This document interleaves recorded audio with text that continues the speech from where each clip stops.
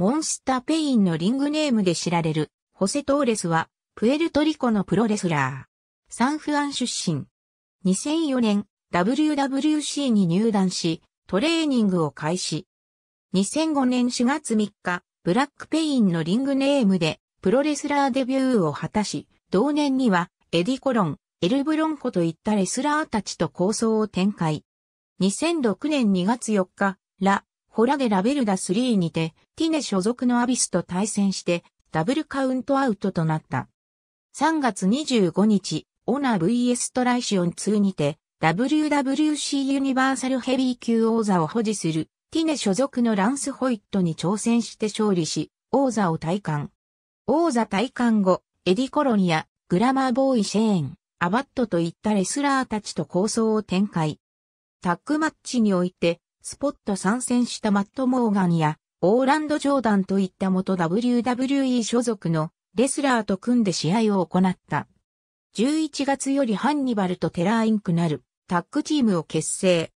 同月23日、クロスファイアにて WWC 世界タッグ王座を保持するクリス・ジョエルウラカン・カスティージョに挑戦して勝利し、ベルトをダッシュ。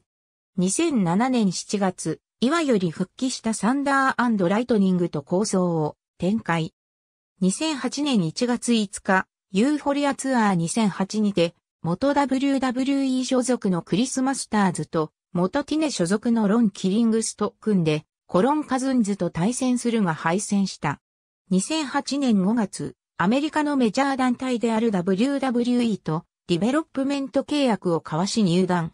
参加団体である FCW でトレーニングを開始。ブライアン・ケリーをマネージャーに従えて活動し、11月1日に FCWTB にて登場。トレント・バレッタと対戦して、終始攻めて最後にスインギングサイドスラムを決めて勝利。試合後に乱入してきた馬がと睨み合う展開になるが、ケリーの指示により、リングから降りた。同月にはケリーが、リングネームをバイロン・サクストンへと、改めて結成したヒールユニットであるサクストン・コングロマリットにメンバー入り。2009年1月17日、FCW フロリダヘビー級王座を保持するエリック・エスコバーに挑戦。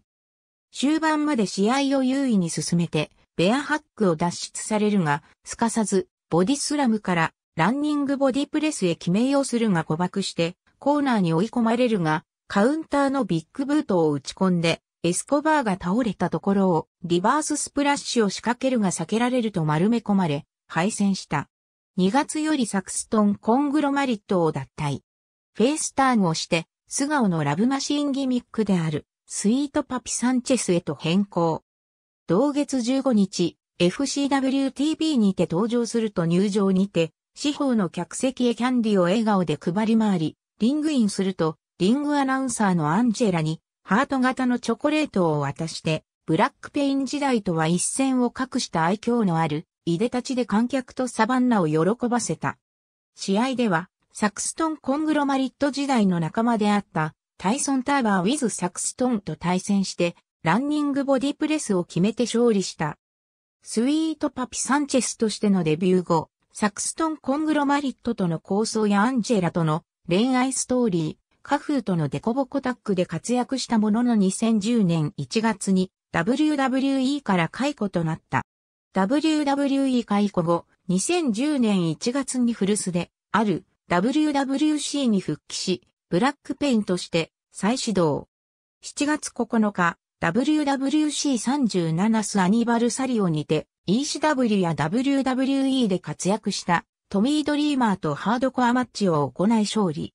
同月11日、WWC37 スアニバルサリオにてミスター USA で知られるベテランのトニー・アトラスを一方的に痛めつけて勝利した。2011年7月17日、WWC38 スアニバルサリオにて、ミスタービッグとストリートファイトを行いリング内外で殴り合いをするが敗戦した。2013年4月21日、プエルトリコにて旗揚げされた団体である WWL にモンスターペインのリングネームで参戦。マネージャーにミストレスグランダを従えて、デメンタスとシングルマッチを行い最後に、スピアを決めて勝利。続いて、WWL 世界ヘビー級王座争奪20人、バトルロイヤルに出場。最後に、ボビー・ラシュリーとの一騎打ちとなるが、ミストレス・グランダがラシュリーを誘惑して、キスをしたところへ、リングから追い出して勝利し、王座を獲得した。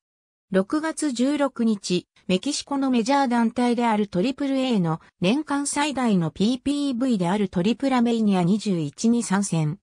ジェフ・ジャレットマット・モーガンと組んでサイコサーカスと6人制タッグマッチを行い最後はモーガンがモンスタークラウンへチョークスラムを決めてからジャレットがフォールをして勝利した。7月7日、WWL ドリームマチャスツアーにてラシュリーを相手に防衛戦を行い、終盤にピンチになったところへ、グレンダが介入して、ラシュリーへ金的攻撃を行うが直後に、エルメシアスの乱入により襲撃を受け無効試合により、王座は防衛したものの多大なダメージを与えられた。9月8日、WWL ドリームマチャスツアーにて、ジョン・モリソンを相手に防衛戦を行うが最後に、マウントの状態で上に乗られると、マスクを剥がされ無効試合となった。2014年3月7日、WWL にて、メキシコのレジェンドであるミルマス・カラスを相手に、防衛戦を行うが、メインイベントを控えていた、マミートスのサポートを受けるが、マスカラス側にも、エルイホで、ドスカラスとシコデリコジュニアの介入が入った上で、試合は大乱戦となり無効試合となった。同月9日、カリート、チャボゲレロジュニアを相手に3ウェイマッチ形式での王座戦を行い、最後にチャボへスーパーチョークスラムを決めて勝利した。2015年1月6日、WWL ゲラデレースにて、WWL エクストリーム王座を保持するサブーと対戦。最後にアラビアンフェイスバスターを避けると、カウンターのビッグブートを決めて勝利し、ベルトをダッシュした。ありがとうございます。